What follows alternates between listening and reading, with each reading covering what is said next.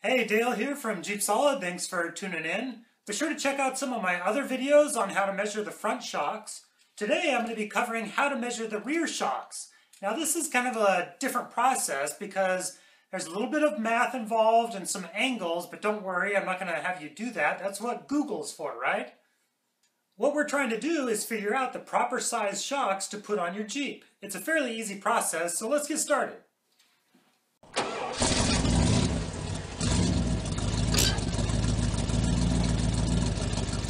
JeepSolid.com. The first thing we're going to do is jack the Jeep up and put some jack stands on the frame of the Jeep. We want the axle of the Jeep to be able to hang down. So next I'm going to disconnect the shock from the bottom of the axle because I want to make sure that the axle has the maximum amount of drop that it can have. I don't want anything impeding it, impeding its drop.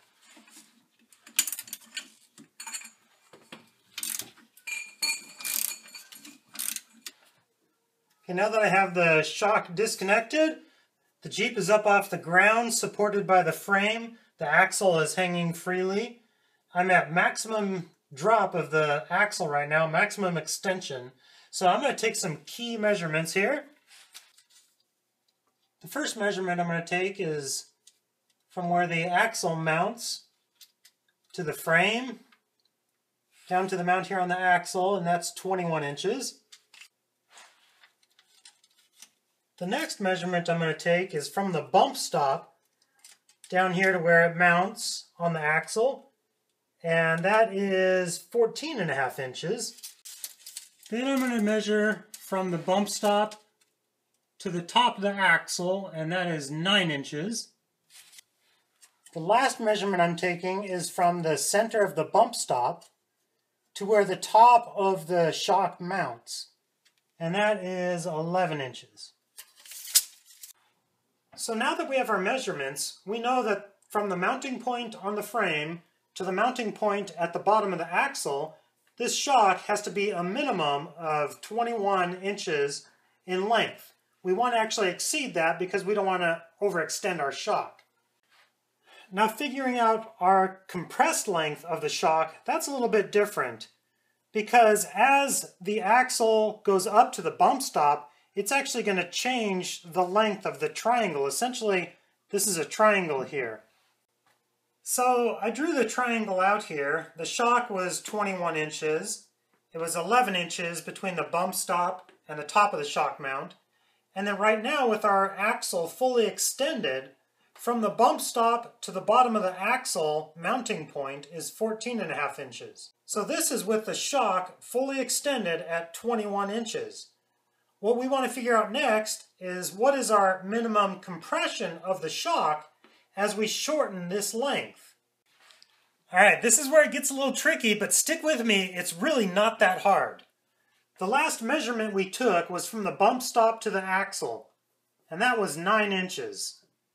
So what we have to figure out is with our triangle here, this length right here, from the bump stop to the bottom of the mounting point, was 14 and a half.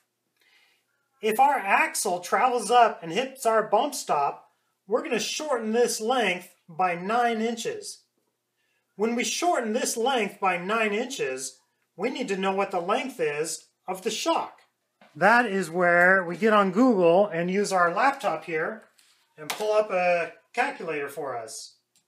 Okay, now that we have the lengths of all three sides of our triangle, the key is actually going to be to figure out what this angle is, because this angle right there is not going to change.